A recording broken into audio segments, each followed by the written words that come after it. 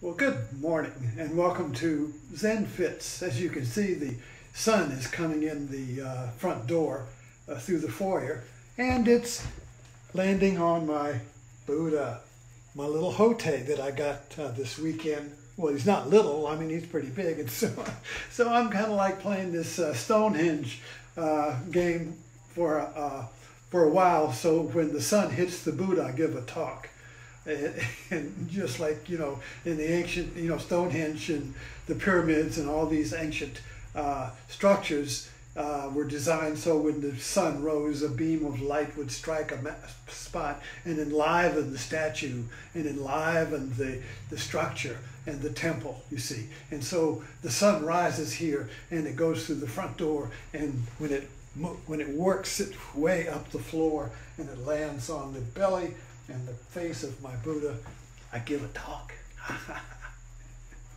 so anyway, thank you for dropping in. Let's see what kind of fit we can have today. Um, the first thing I was writing about this, or yesterday, and then I continued writing about it this morning, uh, was something that um, I, I, it helps me understand uh, what has happened to our politics. And, uh, and so, uh, you know, uh, I'm a biblical thinker. Uh, my friends may not think that, see that, but I am. I see the Old Testament and the New Testament being reenacted in our civilization, Western civilization, over and over and over again, you see. Uh, and just like, uh, but, but in different clothes, in different context, in different uh, uh settings, you know, like a plot of a play that opens up with a different play, different setting. Maybe it's in takes place in uh, uh, Rome or it takes place in Manhattan or, or uh, Louisiana, wherever it, it takes on the characters of that region, but the plot's the same. You see, so this is kind of like I look at the Old Testament, New Testament that way, as as uh, um, uh, formulas that get reenacted with different contexts, and it helps me understand uh, the, what has happened to our politics today, uh, where we have a division of worldviews. We don't have a political division. Uh, we don't have a argument over policies and uh, the game of politics. You see, politics used to be a game in the sense that you fought like heck during the day, but in, after the bell rang uh, and you at happy hour, you'd go have a drink, go have a beer with your opponent.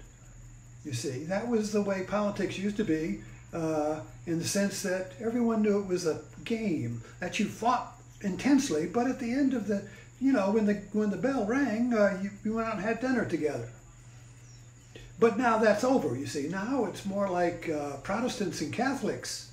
It's kind of like a, a, religious war, uh, where you have two actually different ways of seeing reality, and so there is and, and we're puzzled by that. We, how can they not? How can the other side, whether it's left or right, how can how can how come can't they just see it? It's right there in plain sight. You see, but they don't. So, I, I understand this through the my understanding of Old Testament and New Testament. So the way I see it is that uh, take the, the Old Testament uh, is is uh, Judaism. I mean that was before, you know, BC, before Christ. You know, so Judaism is a is an ethnic ethnic religion about a tribe, Hebrews, who had a covenant with their God Yahweh, and the people had a covenant with God. So they were felt that the, all tribes feel they're chosen. All tribes feel they have a covenant. Well, anyway, the Jews were able to write their history down. So they had a they, they, they were able to see their history metaphorically. So their history became uh, God's history with them. Their history became, the Bible became the story of their relationship with God. Great. But this was about a people. So in order to get in a special relationship with God, you had to be Jewish. I mean, you had to be born a Jew. You couldn't, you couldn't uh, believe you were. You know, it wasn't a belief system, it was a birth system. So it was rather limited. They weren't really interested in expanding Judaism because you have to be born a Jew, so you can't expand it. It makes something born, you know. Uh, in other words, it was a, it was literally you had to be born of a Jewish mother. Period. So oh, Christianity took that special idea with God, the special covenant with God, and created a belief creedal religion. So you could become a Christian and have a special covenant with God through Christ or belief, you see. So anyway, but the point is that the, the Old Testament idea is a people with a covenant. Well, what happened in our country when the uh, in the uh, late 60s, when Johnson passed the Civil Rights Act, he knew that the Southern Democrats were going to flee the party because they were segregation now, segregation forever. Uh, George Wallace ran as an independent, and that's what he said segregation now, segregation forever. Their worldview was the world was divided racially into white and black. That had been the worldview of the South for 300 years. So they weren't going to give up their worldview. So they left. And Nixon invited them into the Republican Party. He said, wait a minute, they're on Wallace, you know, they can't go independent. Let's bring them on in. So the GOP became the GOD party. And I remember this. We are, those of you who have a little memory can remember Jerry Falwell, the moral majority, and the TV evangelicals when there was cable TV hit and these televangelists became uh, merged with the Republican Party, and it became uh, God's party. And, and for decades, the Republicans maintained power by being the value party, the, the, the uh, America's party, the patriotic party, uh, the true Americans, the real men, the real Americans, you see. Liberalism became, uh, yeah, the latte drinking, effete, uh, a bunch of pussies, you know, they can't lead, you know, yada, yada, yada, you know. But the point is, I'm trying to make here, that the, the Republican Party became like the, they kind of, again, uh, they, they became the chosen party in a religious sense. And so they became a toxic mix of politics and religion by changing, by structuring the language symbolically. So it was saying two things at the same time. So if you said, if Reagan said, uh, the welfare queens are taking away uh, all your money, the Southern Democrats knew what they were talking about.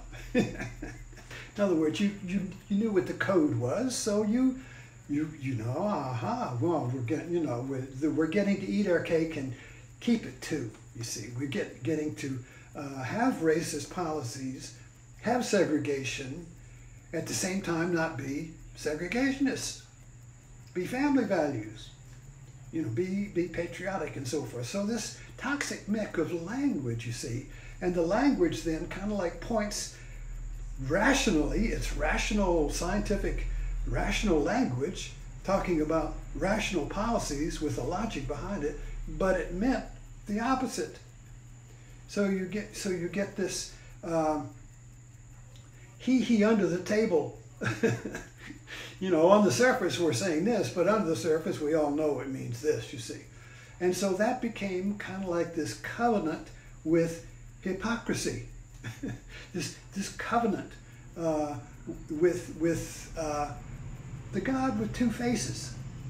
This covenant with you can get rid of your racism and keep it too, kind of thing, you know. So that became a toxic mix uh, that actually generated power.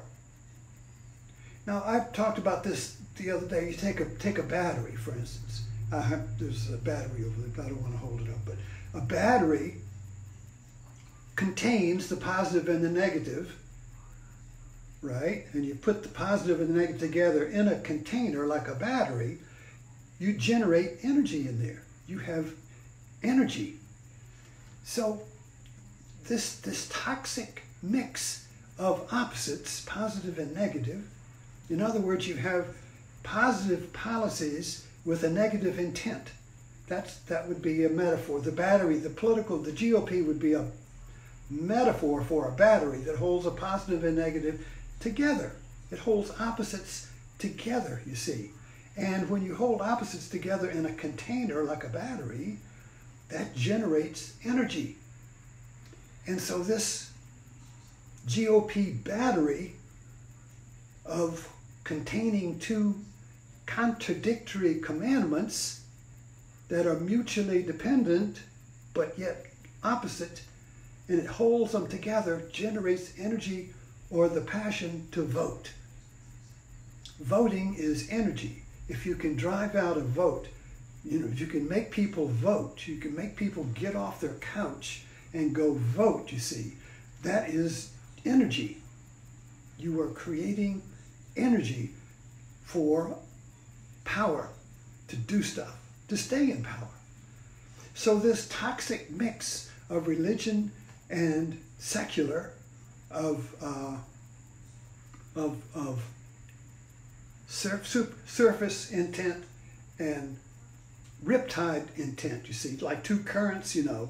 You got the all the currents going to the shore. We're going to the promised land, but the other, but the riptide there is going in the opposite direction. When you get this together and you can hold it in a political container, you generate energy by just throwing out the the the triggers to trigger the energy, like gay marriage or uh, LBGT uh, or guns. They're taking away your freedom. Ah, bam! That triggers the energy that connects the opposites at the voting booth, and people vote. And then when it's over, all the energy goes back, you see, and they, they vote the battery into power. So this is kind of like the stumbling upon a self-generating energy system that is built like a battery upon containing two opposite commandments. And the two opposite commandments are don't be racist, be racist. you know, like it like you know, and you can't do both at the same time.